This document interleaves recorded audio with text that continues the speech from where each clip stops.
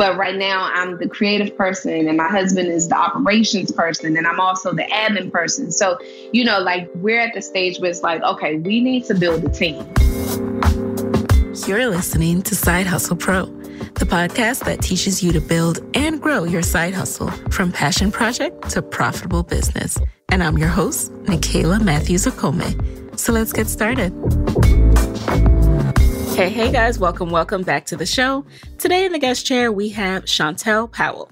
As a busy working mom and wife, Chantel found herself shuttling her son Kameron between summer basketball camp and football practice.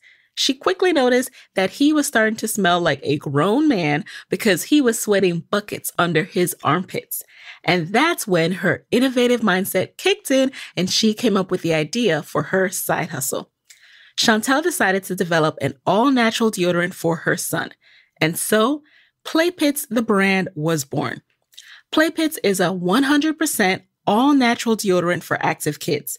It's free of aluminum, parabens, synthetic fragrances, and other harsh chemicals. While it can be used on the most gentle skin types, it also packs a strong punch against odors. In today's episode, Chantel breaks down how she tested out Playpits on family to get feedback, how customer demand led her to evolve from children's deodorant to an adult deodorant line as well, and how she did it all while side hustling. Let's get right into it. What made you decide to start side hustling? Well, I've always had an entrepreneur spirit. I've always been a, in a way, a, a, rule breaker and someone who never really believed in the whole nine to five life. Um, but you know, with life, you kind of fall into certain areas where you have to work um, because you know, if you're like me, you have student loans, and so you know, you just you go to work because you have to, but you all like I've always just had the spirit to kind of be my own boss and work for myself. And so that's kind of how I got in this whole world of working for myself. And it started off with me having a side hustle of um, styling people on the side. Okay. So what was your initial career path? Was it fashion centric? Yeah, so I went to school for fashion merchandising. I went to Clark Atlanta University. Um, and my degree, I just wanted to basically, I tell people so funny, I just wanted to um, do the window displays and merchandise the mannequins at Macy's and, you know, all oh, the big stores, right? Yes, so, they're so creative. Yep. Yeah, so I'm a creative person. And so, you know, I just wanted to make the displays and um, the mannequins look cute. But when I was in um, my junior year in college, I needed an internship, and one of my professors put me in touch with um, Tyler Perry Studios for their costume department. And so then that kind of opened a whole new world to me. And so that's how I entered the world of film and TV. Is that what you currently do? You're a film and TV stylist? Yeah, so I'm an assistant costume designer. Um, and so I've been in the industry for over 10 years, um, working as a, you know, a shopper, a costumer, and now an assistant costume designer. Interesting. This is so cool. So I didn't realize that's what you also you totally do. So I'm doing this thing now where I don't over research people. So oh, it's like okay. this surprise and delight element for me when I talk to you guys. Yeah. And that is so that is such a fun, you know, career. So then what made you decide to do this completely different world of creating a body product specifically for kids? How did that come about? Well, I came home to a smelly little boy. Why are boys so smelly? oh my god! I um, my son is my son Kameron, the inspiration of Play Playpits. He's yes. in um, I mean, he since he was four years old, he played flag football, basketball, t-ball, um, lacrosse, and so he's always been super sport um, centric and super like we, you know, we're so promoting his active lifestyle, but one day at six years old, Kameron literally got in the car. And as that door swung shut, it was like his odor just hit me. And I was like, wait, you're six. Like, what just happened? Um, and he smelled horrible. And so I just refused to settle for having a smelly little boy in my house. Um, and so I, I did some research, and it wasn't any natural deodorants on the market that I really was interested in that I felt like he would wear daily. Um, and then the other traditional deodorants on the market, they're toxic. They're horrible for you. So right. I didn't want to put that ingredient, um, that product on my sweet baby boy, even though he smelled like a grown man. I didn't want to use the products that grown men were using. So I just got in the kitchen and I made him a product. I love that. As as you were doing your research, what is it about what was currently out there in the natural deodorant space that that made you that you didn't like for your own child? So it was so serious. Like you look at the packaging, you look at the, you know, everything was just so serious and so boring that I just was like, yeah, my little baby, he's not going to do this every day. And I needed a product that I would be confident that you know while I'm while he's getting himself ready for school and for practice, I could be packing his lunch and I could say get ready and just like he brushed his teeth that he's been doing since he was two. Uh, one years old, I needed to know that he was going to put on this new product every day. And the natural deodorants on the market, they were they weren't. It was nothing that was going to excite him. So I was like, you know what? I'm just going to make something with a orange. The first um, the first fragrance I made for him was it had orange essential oils. Um, and so that was something fun and he liked it. Um, and so he then was super excited to try it because one, mommy made it. um, so it's, you know, it's the sense of like, oh, look what my mom made. And then two, it smelled good. So he was really excited to try that. Um, and so that kind of is how that first, um, that first batch was made. And then he, um, he inspired me from that point on. So, how did you know how to make deodorant? I mean, you, you go from just having this idea to coming up with the formulations because it's not just, oh, I, I need something to smell good. I need something that's actually a deodorant. Right, right. So it's so funny because people like people that know know the career uh fashion stylist, costume, life, Chantel, they're so confused by that as well. Like, wait, you make people look good. How do you know how to make them smell good too? Um, but I'm I believe in natural remedies. So my grandmother, when I was a little girl, she used after I would play outside or before, she would put baking soda under my arms. And so I remember that. Like I so when he came home, I knew I could put baking soda under his arms, but I also knew that wasn't something that would last all day long. And with his super active lifestyle, I needed something that would start him from, you know, the morning, bring him home, still smelling fresh, to then go to practice and come home from practice smelling good. So then I took it a step further and I knew that um, the first thing was cornstarch. So I knew cornstarch would help absorb the moisture so he wouldn't be sweaty. And then I, the first item the the other item that I added was uh, coconut oil because that has bacteria killing properties, right? Okay. So I included that, and then that kind of spur. I'm a researcher. I'm a Googler. I'm a YouTube watcher. So that is kind of when I decided that this would be a business. Kameron actually, he literally came home after practice. Um, well, after camp one day, basketball camp, and he was like, "Mom, I told everybody at camp that you made me deodorant, and so um, can you make it for all the kids?" so he he was your marketer. He was your marketing director. Yeah, okay. I mean, he was. Yeah, he was like going. He was the promoter, marketing. I mean, he did it all, and so I was like, him you know, no, I just made that for you. Like, you're crazy. And so he looked at me with these cute little 60 year old eyes and he was like, But mom, you can make it for everyone. And for him, he's thinking all the kids at camp. But when he said that, I heard everyone, right? And so I was like, oh cam you might be onto something so then that's when i did the additional research to figure out what was really on the market and i didn't see anything on the market that could do it better than what I could envision at that moment. So I was like, okay, I'm gonna make this a business. Yes, and specifically designed for kids too. And I know you also it can be used by kids at heart, but there was yes. really nothing targeting kids, and kids are smelly. kids yeah, are kids smelly. are smelly, okay. and it's so sad that people are settling for smelly kids mm-hmm. in their mm-hmm. home. You know, it's so common. Like you hear, especially with boys, you hear people say all the time, like, "Oh, boys, they smell," but why? Why are we okay with that? so that was something I was super passionate about. Like, no, we should not we can stand for smelly kids. Yeah, yeah. Now, what investment and materials and equipment? What were your startup costs to get started with this? a whole bunch of Amazon orders of different ingredients and containers. My husband was sick of me. I had packages. I bet he was. I bet he was. when I tell you, I had, I mean, the cost, I can't even remember. I mean, I know the initial, it started out very small. Mm-hmm. You know, it started out maybe with a hundred dollars. And then, you know, with that, you you test things out and you're like, no, I don't want to use that. And then, I mean, it, it definitely was a lot of money. That first, um, it took me nine months to develop Play Pits.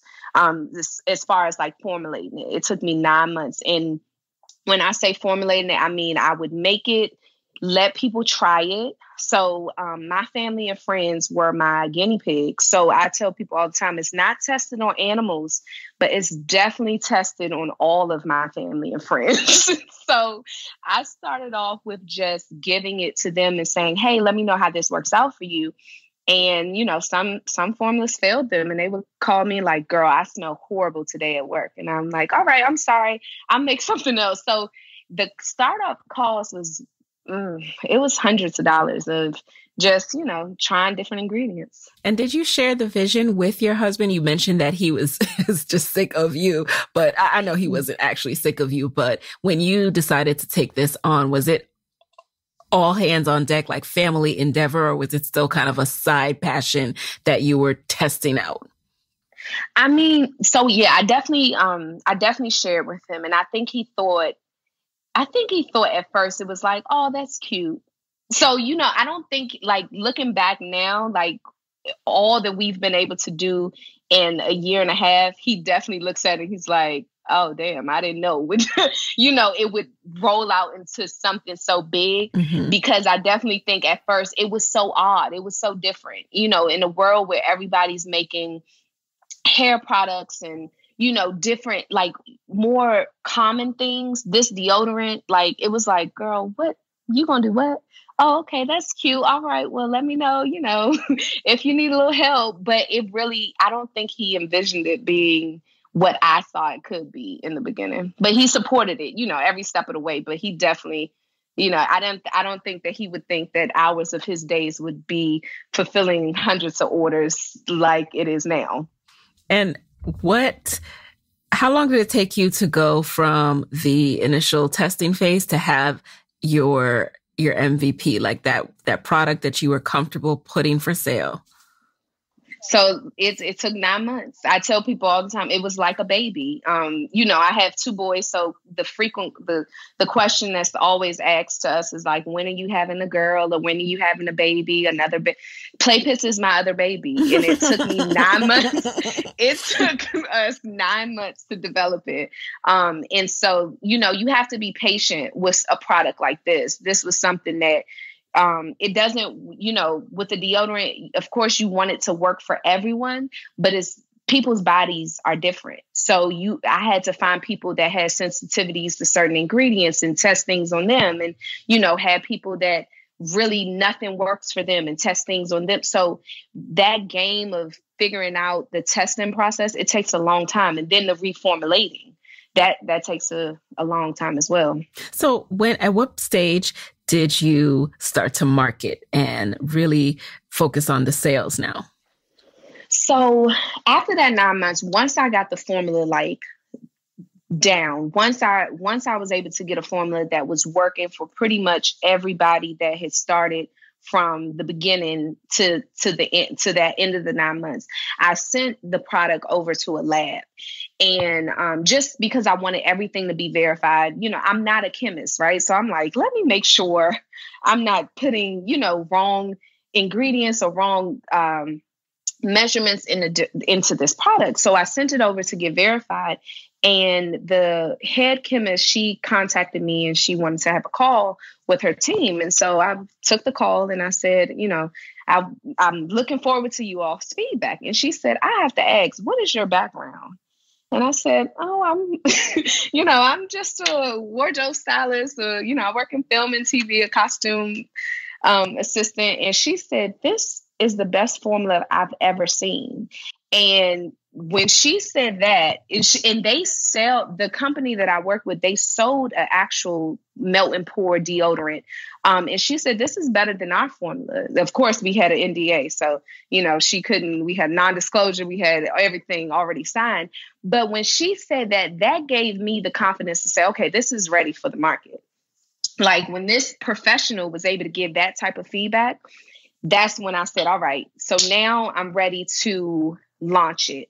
Um, but while all while I was developing, I was branding it on the in the background, right? So I was formulating it, but I was also working on the name. I was working on the logo. I knew what I wanted to it to feel like. I knew what I wanted it to smell like. Um, and once I got that down, I was able to launch it. So we launched March 31st of tw- 2018. 2018. And what did that launch mm-hmm. look like? What what does it mean to launch Play Pits?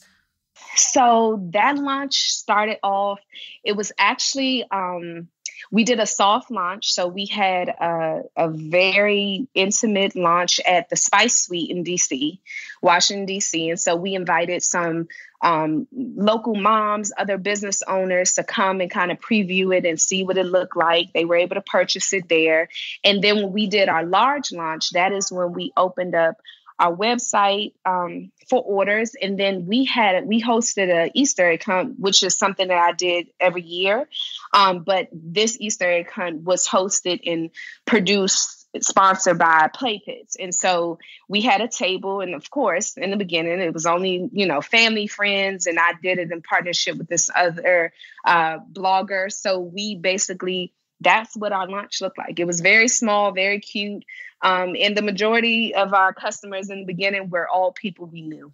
What was it like? So you launched at the Spice Suite. What was it like when you were introducing and putting it in front of new people? What was the response like? Did you immediately have to up your inventory goals or, you know, how did that work? In the beginning, it was it was something people were really excited about. So we we get in the beginning it was very mixed. Like people were excited about it if you knew that children needed deodorant, right? So if you had a kid and you were like, "Oh my god, I've been using Dove on my daughter," like of course I'm buying this. People were like, "Yeah, let me get one."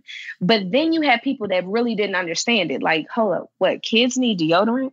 You know, I didn't like people don't really think kids need deodorant at a certain age. So it was mixed and it's kind of still mixed. Like people are still a little like, huh, I don't get it.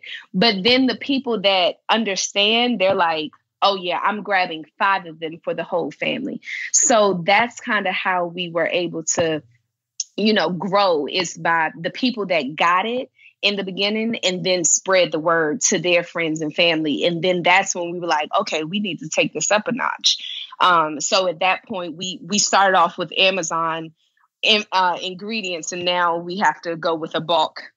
you know, a company that sells in bulk, okay. 50 pound bags and, you know, 100. So, yeah, things are definitely different than the Amazon days. You bring up an interesting point, which is it is tough when you're both teaching your customer how to use your product or teaching them about the, the purpose of it and also trying to sell the product. That is not easy. But then once you've identified the kind of key characteristics, your, your ideal customer, how have you gone about finding more of those people? Are you working with athletic teams or anything like that?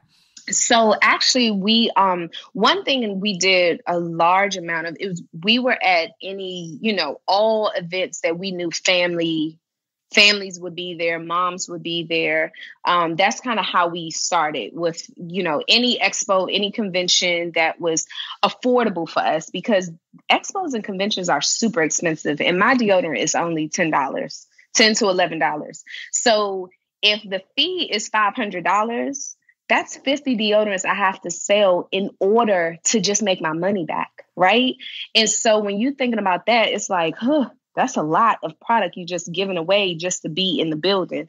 But what we were able to do there is kind of slowly build our customer base. And from that point, we were able to kind of know where our customers would be. And now, recently, we just launched a play program where we're partnering with sports organizations in order for them to raise money for their organizations. You have gone beyond the days of ordering stuff on Amazon piecemeal. Mm-hmm. Have you also gone beyond manufacturing and packaging these yourself? Are you at the level where you're outsourcing it, or is it still an in house job? So we're still doing everything in house. Um, we're still making, producing, manufacturing, shipping everything ourselves. And so we're at the process, we're literally at the cusp of that and then what's next and figuring out what direction we want to go into. Um, but it we definitely need to make a decision, right? So we're exploring um, if we want to manufacture it ourselves as far as getting a warehouse and kind of um, just building our inventory of equipment to make it um, and just hiring people, or if we want to send it out for a co-packer to do everything for us. And what has been the most challenging aspect of this after you launched? Was there anything that just surprised you about the entire process? Well, I think the main thing that has been the challenge is the educational portion. Um, you know, it's mm. really hard to kind of break brand loyalty. And regardless of you telling someone, hey, this product has chemicals that could lead to cancer, uh, like aluminum. So you should try our product. People have been using, let's say, Dove for 30 years and they are loyal to Dove. And regardless of you telling them, hey, I have a product that is safer, that's effective, and that smells amazing, they they're a little skeptical you know? So that whole educational piece is really um really has been a challenge for for us to kind of convert people. But once we convert people they're hooked and it's and that's the most rewarding people. And i tell you know because we're not really going after people who kind of we're going after people who don't know why they should use natural deodorants because my mission is to educate our community um, as well as you know provide a safe and effective product. But i want to reach people who don't know the harms of antiperspirants. And so when you tackle a task like that, you you're going to it's going to be a challenge. And but what I've been able to do is kind of educate people as slowly and you know it, it it's slow, but it's possible. Um, and that's another reason why we tackle the children because when you educate kids, they they're more inclined to learn and say, oh, okay, well, I want this. Whereas adults are a little more stubborn and stuck in their ways. So we go after the kids and then the adults come. When you see kids too doing something, it's like, well, what what's that? What are you using in the locker right. room? right. So how are you juggling all of this? Um, does your work require you to travel? Like how are you able to ensure yeah, you're making enough orders to meet or uh, purchase demands while also still having your full time job? Kind of industry that's very freelance based. Um, so I could work, for instance, October to May of this past year, I worked for seven months straight and I was in a whole nother state as my family. So the business was ran out of Washington, D.C., uh, Maryland area, and I was in Atlanta, Georgia. And so it was crazy, but we were able to make it. Um, my husband did all the production as far as fulfilling orders and making the product while I handled all the admin work. Um, and then so yeah, it, it's a it's a struggle to keep the balance, but it's you know it's possible with your village. So I'm fortunate to have family and friends that chip in and help and devote their time to us to help make it possible. But it's, it's definitely a challenge. But I'm very fortunate that I don't have a traditional nine to five that I have to work every day. Speaking of money and full time jobs and kind of thinking of that next move and if you are going to take it full time, I know that not everyone makes money when they first start their side hustle. I certainly didn't. You know, it was, it was money, but it wasn't enough to like cover my bills and say, oh, I'm ready to quit. I really had to strategize. So, what has been your experience? I've been very fortunate that Play Pits has, I, I tell people, Play Pits has funded itself since the first 30 days of business. So, meaning that initial, you know, nine months into getting it out there, developing it, and all of that, of course, I was putting any extra money I had personally from my job into it, I was then able to, once we launched and once our family and friends were buying the product, I was able to pour all the money back into it. And so even now, um, we we any dollar we make, we put right back into the business.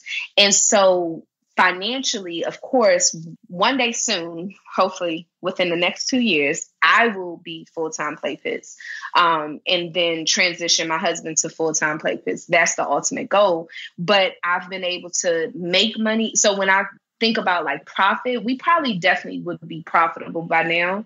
But I put all money back into it. And so, you know, whether it's me needing new equipment or me buying larger bulk items, it's like, oh, I have the money, let's just do it to save money on the back end.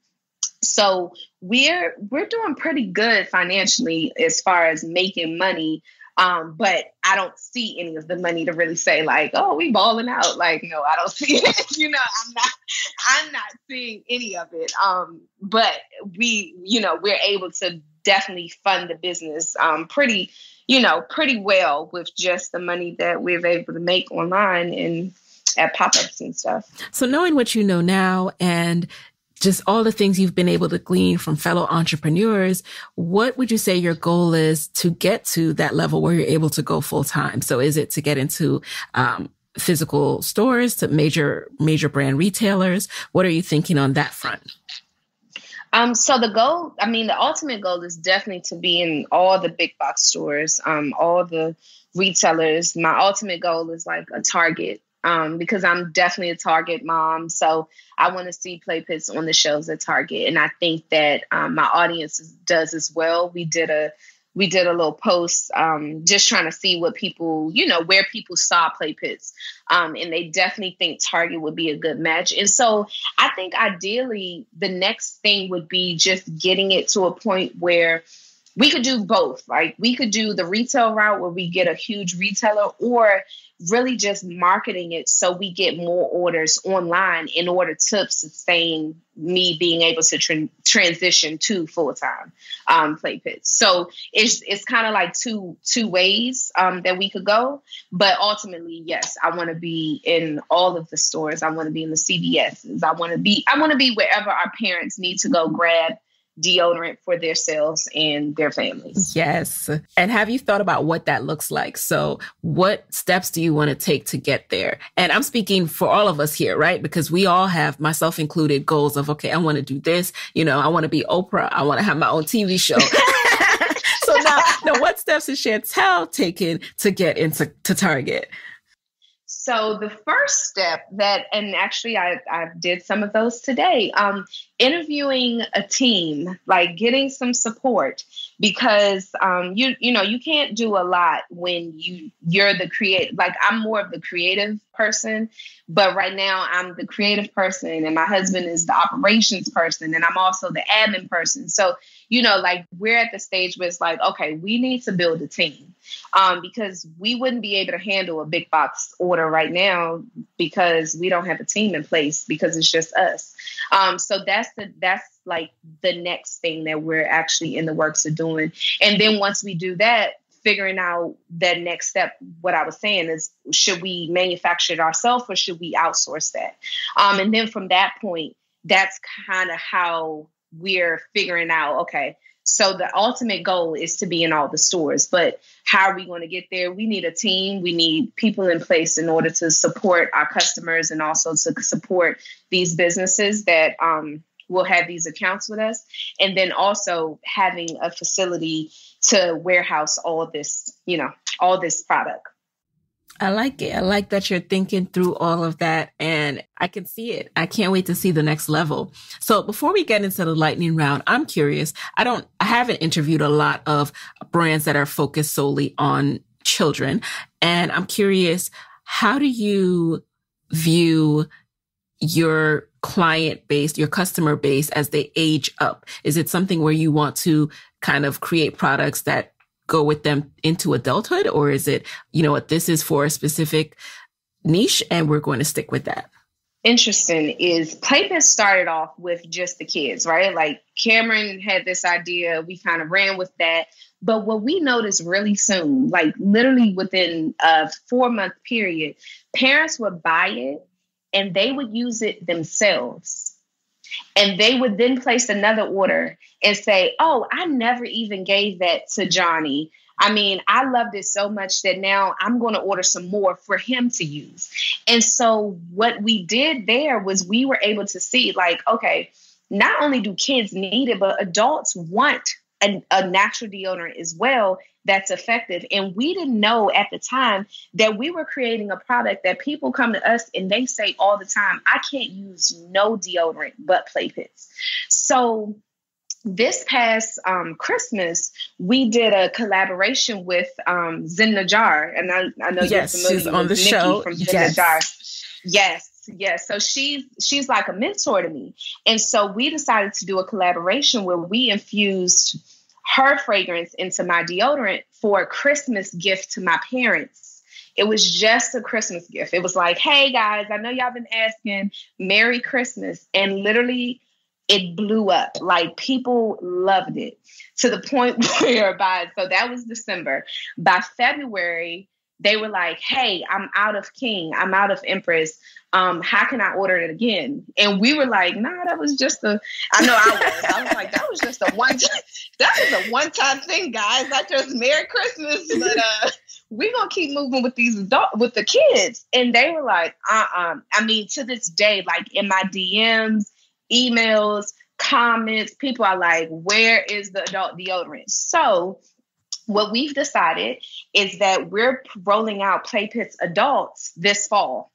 Um, and so that kind of was one of those things that was organic that just happened, but we saw the demand was there because even though there's a good amount of natural deodorants on the market for adults, they're not effective.